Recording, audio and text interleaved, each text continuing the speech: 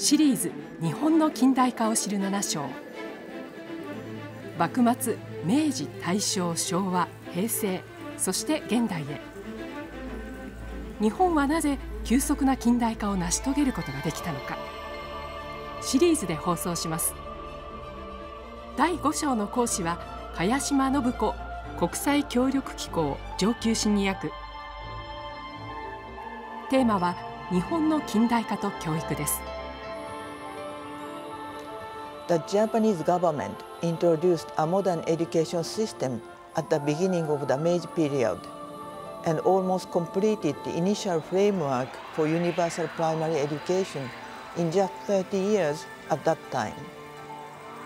日本の近代化を知る7章第5章の放送は BS231 チャンネルでご覧の日時です